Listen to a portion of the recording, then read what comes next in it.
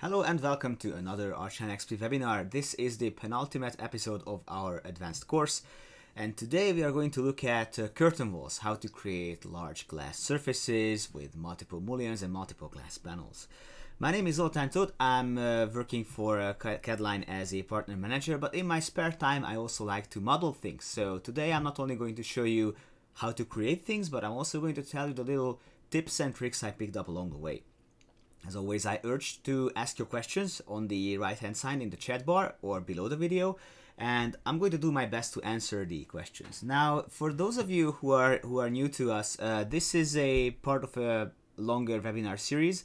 Last time we looked at how to create suspended ceilings and uh, and lighting elements. So if there's anything you don't understand, I suggest you look at our content on the website archlinexp.com slash uh, webinar, where you can actually look at other courses we had in the past, including uh, advanced courses in architecture and interior design, uh, furniture design, and all the other elements. So if uh, if you're looking for something, uh, another topic maybe, another focus, then make sure you visit the website. It's all free and it's all uh, accessible.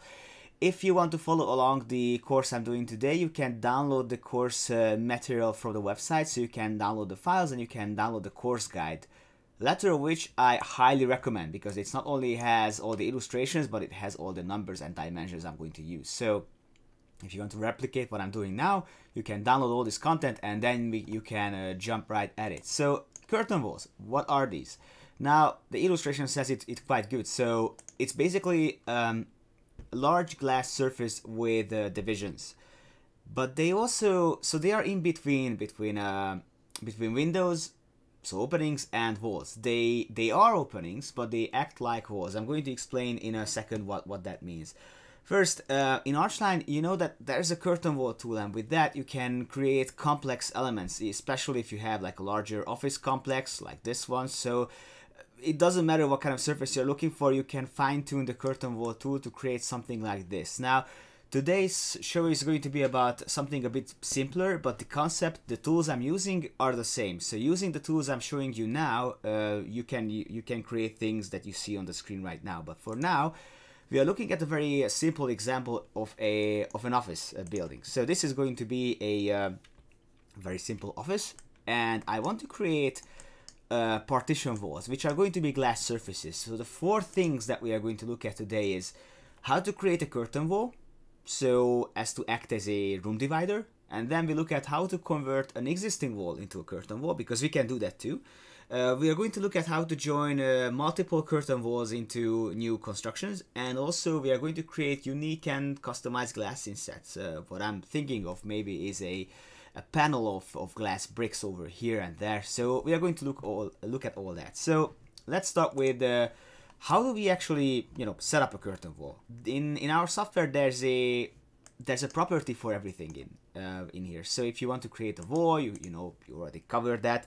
You can customize how high the wall should be how thick it should be what the material should be. Now it's all the same for the curtain walls. You just right click and open up the properties. And here uh, actually, you can save multiple versions of this curtain wall. You can have customized styles, but you know, these sizes and these properties are not good for me because I want to create something sleeker. So what I do, and again, don't forget that I'm using uh, values which are in the course guide. So if you're wondering where these numbers are coming from, then that's where they are coming from. So I'm going to have to use a curtain wall which is higher than this. So I'm just going to say that uh, the width should be 7150 and the height is actually 2600 millimeters.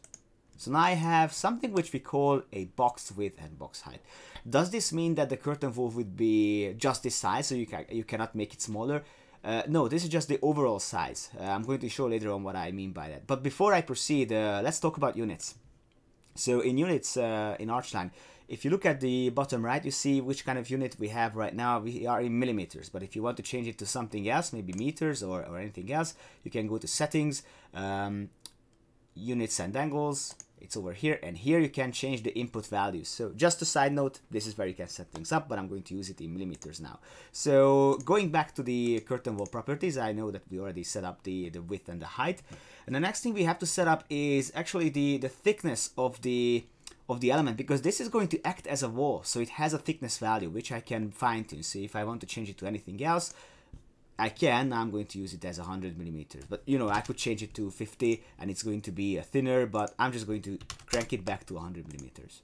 Uh, this is just um, it turns uh, yellow because of, of uh, refreshing. So if, if you refresh the drawing it's going to be turning back to normal. So next thing we have to define is the basic geometry. Now what does this actually mean? Well, it, it's mostly concerned about the mullions. So this vertical and horizontal divisions, uh, you can customize how how thick they should be. So we know that the mullion thickness should be uh, 30 millimeters. You see that the drawing changes whenever I do that. And let's look at this uh, division now. If I say that the width is, uh, instead of 5 millimeters, is 30 millimeters, I see that the mullion changes. So everything happens real time. So let's now change the mullion's material which from steel I have to change it to something else. Uh, let's go with, uh, I don't know, aluminum. And it should be a bright one, so here we go. Redraw, now it's it looks like that, but there's a couple of other th things I still have to change, and that is the, um, the glass material. Because it has to be um, something bluish, or turquoise, so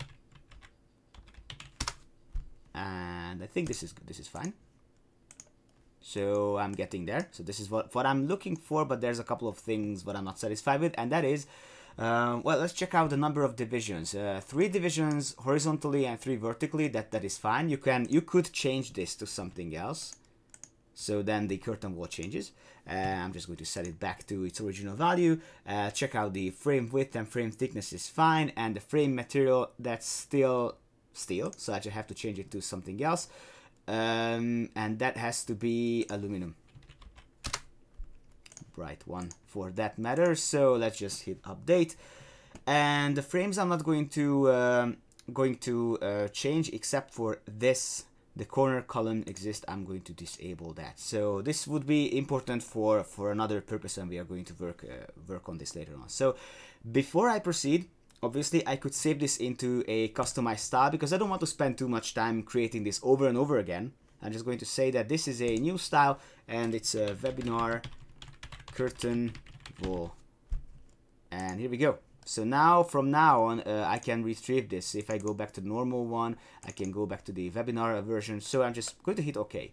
And now comes the fun part when we actually start positioning the curtain wall, right? I want to have a division. I want to seal off this office. I'm not really a fan of uh, one-room offices. I like to work in my separate box because that's just the way I am. So I want to seal this off, but I want to make it transparent. So you can see that the colleagues are not spending too much time on solitaire on the internet you want to see them so you want to create like a transparent portal here so what we do is that we jump into the 2d uh, right here. I'm modifying the 3D as well so I see what I'm doing like that.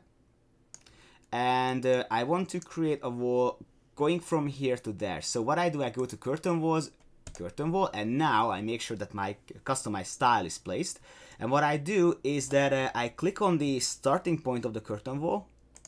And before I proceed I, I let's just look at this because this looks like a wall right? So when you are when you're placing a wall you do it the same way. You have one blue reference line and you have the orange part which is added to the wall. Now I want to position this uh, this wall in the middle of this line. So what I do is that I either uh, push the F5 key so that the wall would be moved back and forth or I can just use this toggle over here to move it left or right. So now I'm positioning it to the middle. I'm satisfied with that. So I'm just going to draw it like that. So when I do that, right away the the curtain wall is placed. So because of the values I submitted in the beginning, uh, because of the height value, this uh, this is already good.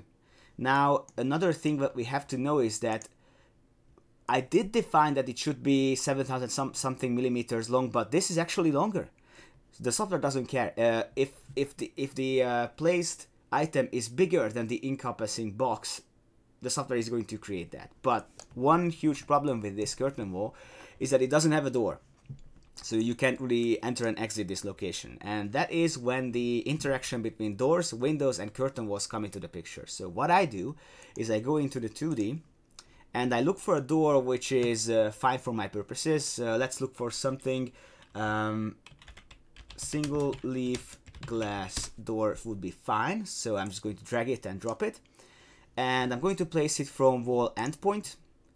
And do I even know where it should be? Well, I, I do. Uh, I know that it should be... Um, let's just position it first and then I'm just going to uh, bother with the with the uh, exact position later on. I know for a fact that the distance from wall line should be 5 millimeters otherwise not sure if you see it but the but the door is actually going growing out of the of the uh, wall so I have to change this value I'm going to say this is 5 millimeters so now it's nicely in pushed into the wall and then I have to define where the door actually is I'm just looking for a value in, in which I can uh, I can change that.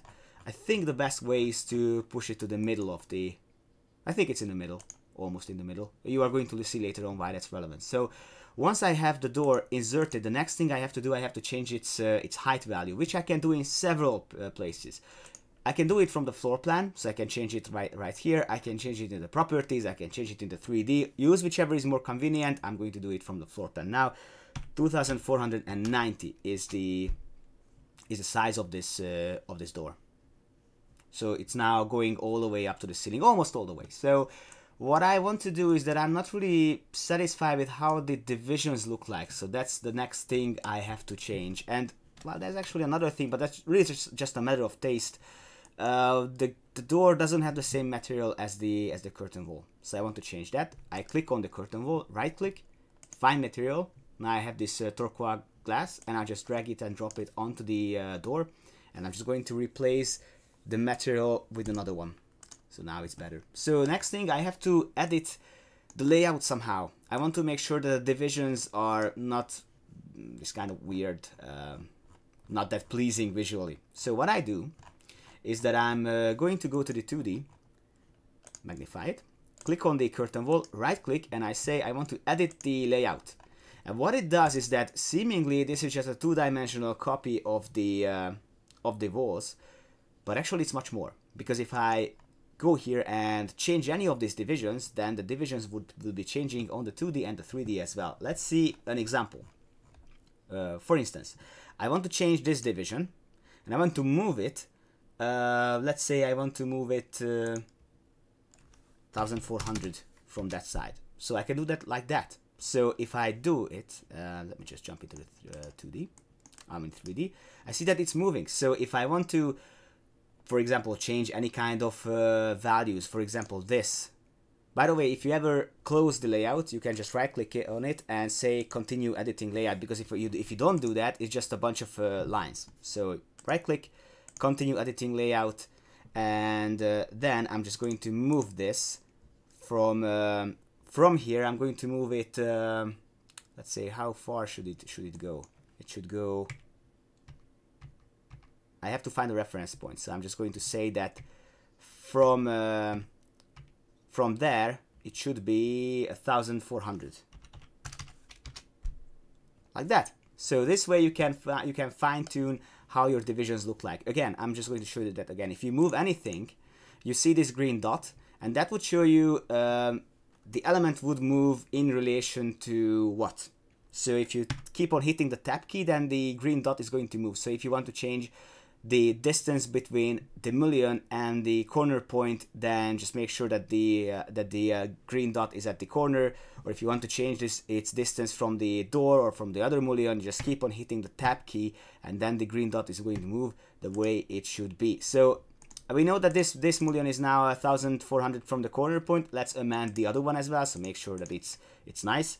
Let's just hit the tab key until it goes into beginning, and 1400 would be fine. So I think it's uh, it's symmetrical to some degree. So let's go to the 3D and adore what we have done. I think this is good enough. So next thing is uh, we are going to go more into the details of uh, layout editing and we are going to go a bit more experimental with the mullions and divisions. So let's jump to the uh, second office and again seal it off with the same things as we did before with some minor exceptions. So when you want to draw a curtain wall you have two choices.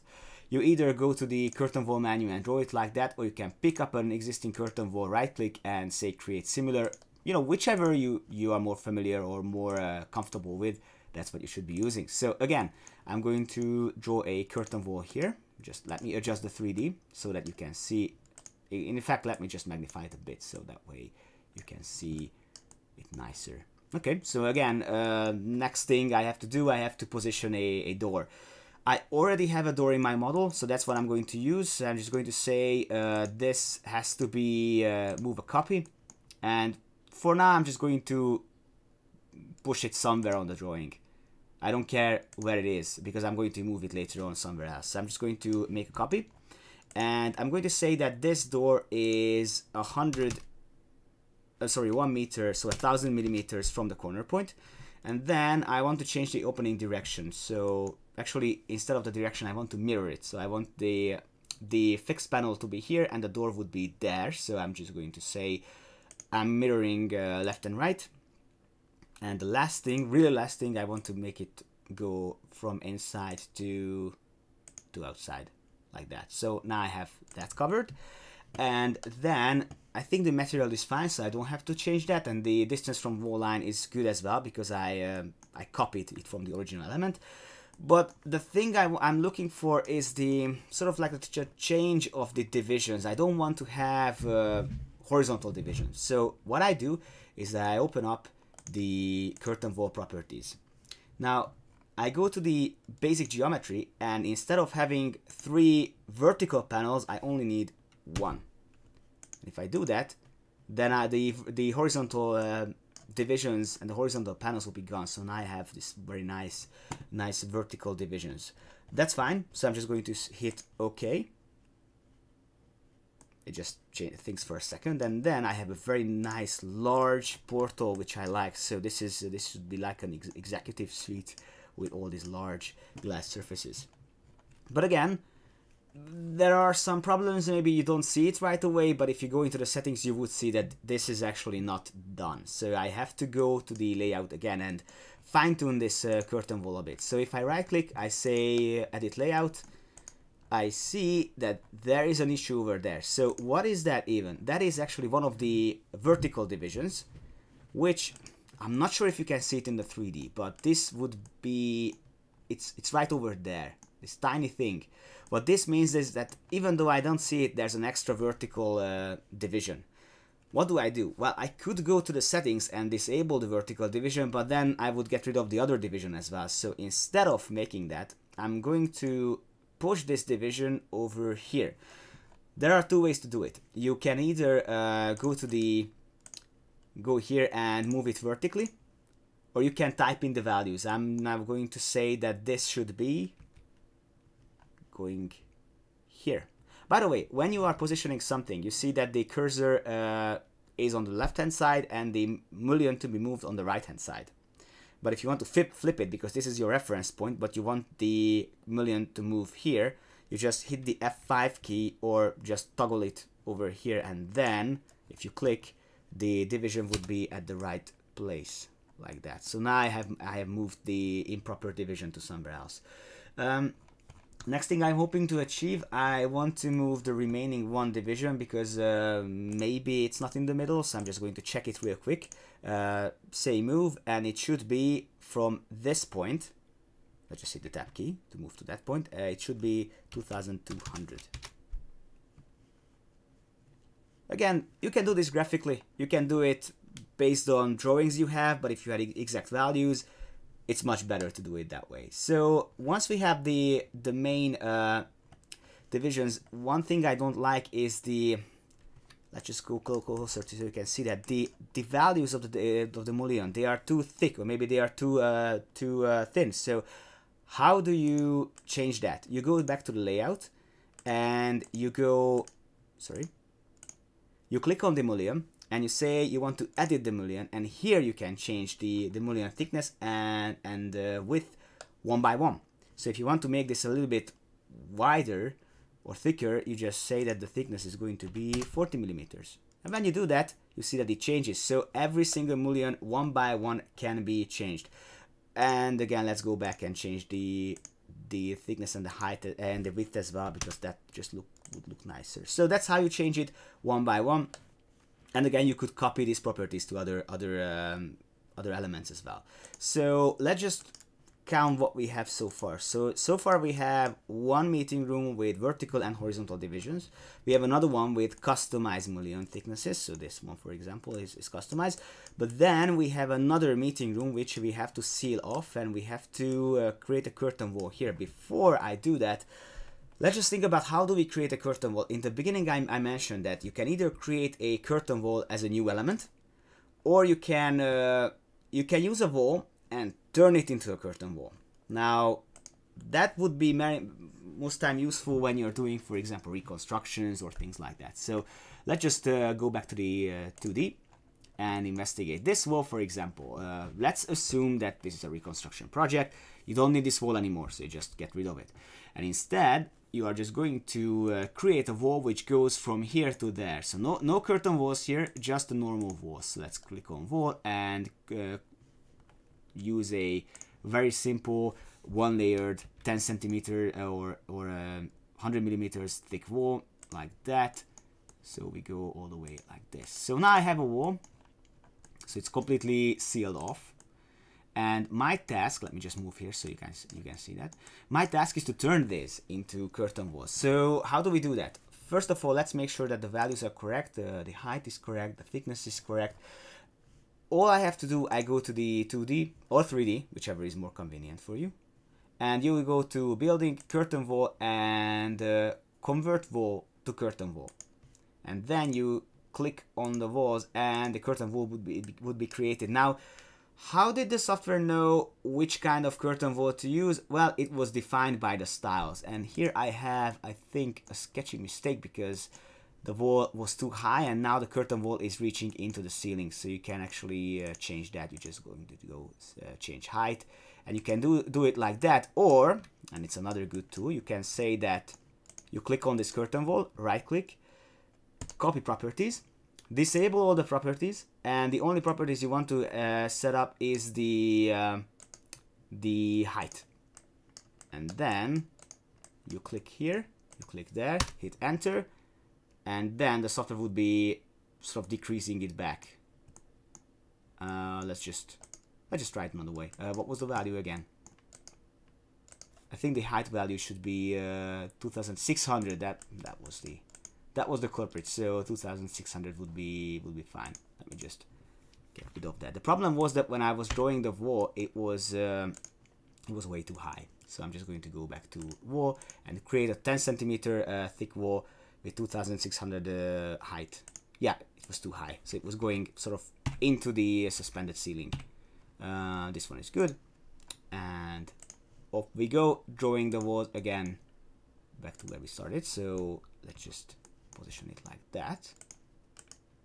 And then we turn it into a curtain wall. Again, you could do it in the 3D, 2D, but just make sure that you click on the right elements because otherwise uh, if the wrong elements are uh, picked up, then the connection would be not good. So, and I have one meeting room sealed off with this very nice uh, curtain walls, but the problem is, again, the same. There's no door, there's no element to sort of enter and exit this location from, and I don't like the division. So the door is the first thing I'm going to amend, and I can do that by uh, just picking up this door and copying it onto the onto the other element, like that.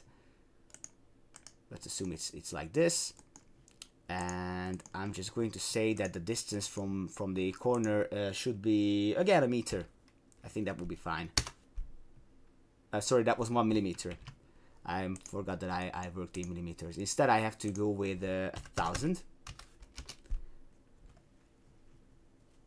and if you have put it and for some reason it's not lining up you could be even moving it um, vertically I mean, uh, graphically like that. So you can say that you want to bind to this point. So assume assume that you made a mistake, assume that it's here. And if you want to move it and align it with another door, just click on the door, say move, hit the shift key and move to the move the cursor to the other door and then they would be lining up. So um, again, I have to change the, uh, the opening direction. I think it should be inside.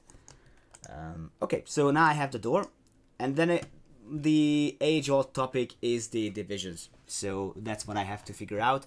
For the for the uh, this part, the one on the right, I don't need to have uh, horizontal division. So I'm just going to go to basic geometry and number of glasses uh, vertical should be one. So this one is good. And the other one, let me just consult my chart because what we want to achieve is this. So we this we have already achieved. Again, if you want to change the mullion thickness, you can do this uh, like that.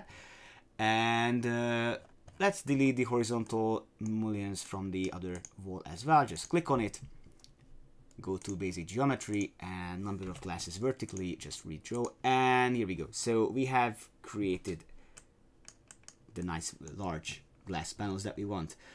Uh, if you want to recolor things, you can do that. Uh, like like right now, if you want to go back to find another glass,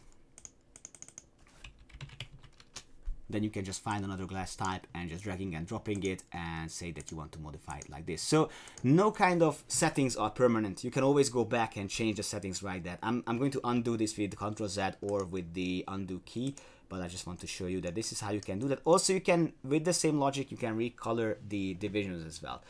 Now, um, so so far we have demonstrated the three different versions of a curtain, curtain wall with different division types. Now, the final task is um, is what we use when we want to create uh, like brick uh, glass brick panels. Uh, let me show you what I mean. So in this office, I have a very large uh, wall surface, but this is a very boring and, and large and inhumane kind of surface. I want to create two sort of boxes through which you can see. Now, there are two ways to do this again. Just like with anything else in the design process, there are more ways to answer the same question. You could be using windows for this. You could be using a material for this. But if you use a curtain wall, then you have ability to control the number of divisions. And that is what you cannot achieve with textures that's something that you can only achieve with a parametric element. Without explaining it uh, too much, I'm going to show you that this is a drawing that we use to cut the walls into the uh, to, to cut the holes into the walls. So that would be our guide to create the well, let's call them curtain walls. Let's call them glass panels. So uh, let me just find an illustration to show this is what we are um, what we are looking for. So that is the end result we want to achieve it's always better to show it instead of uh, explaining it. So how do we how do we do that? Now there's a tool in the software which uh, which allows you to turn wall into a curtain wall. We have already seen that. But there's another tool which is able to fine tune the shape of the curtain wall. Now in this scenario we haven't we don't have a curtain wall here yet. But the wall still is able to add like an inset. So if you go to curtain wall and you say reshape curtain wall, and click like that. And then the software tells you that, okay, this is the wall layout. I want to keep the layout, yes. Um, there's a tooltip saying that specify the profile. And then the software tells me, okay, so where do you want the curtain wall to be? And instead of tracking this, I can just go with the paint bucket tool, click on this profile, and then the software tells me that this is the element that we are going to insert here based on this drawing. Why does it look like this? Because that is the style which is default in the software. So we have to change that. We have to go to basic geometry and we are just going to say that the, the thickness is 10 millimeters, the mullion width is, uh, sorry, the width is going to be 80 millimeters and the glass width is going to be 60 millimeters and the material should be uh, let's let's just not change it right now. Instead let's go uh, let's proceed and change the other values uh, the number of divisions 3 horizontally but vertically it should be 11 like that nice now I think I have to change the material from bright aluminum to something else uh, should be G110 maybe if I have that, yes I do. I think it is taking shape. So what I have to do, I have to hit OK. Let's see what I've created. So this is how you can sort of punch into punch a hole into the uh, the wall and create a curtain wall. Um, the frame thickness is is not that good, so I have to change that. I I forgot to do that in the first panel. I can do that too. Let's just go back to the, the drawing and say that this I have to change and the frame thickness should be uh, let's just see where I can actually find that I think it should be frame. And in the beginning, I did show you where to change that. It's just, I think that was the one. The thickness, yes, here we go. So 10 millimeters instead. Uh, let's just change it to 100. And later on, I'm going to look this up where you can actually uh, fine tune that. Oh, here we go. So that's what I wanted to achieve. Okay, hit OK. And now I have the right result. There's another one, another panel to go. So I can uh, I can create that too by doing the same thing, clicking on the wall and say uh, reshape curtain wall. Select the element. And you see when I'm putting down the, uh, the layout now, I see that the curtain wall panel on the left hand side is already visible. So I have to I have to superimpose my uh, my group over the existing drawing and then I do the same exercise. This time I'm going to say that this panel is the one I'm, I'm willing to work on.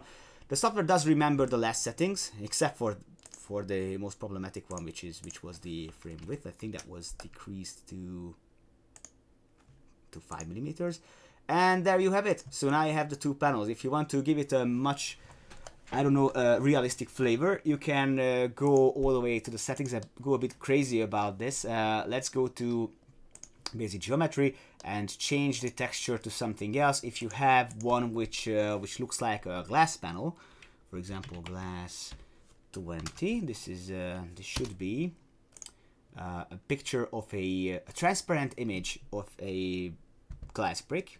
just hit OK, redraw, and then you have a much nicer result with the texture right there. So again, I'm going to change this here as well.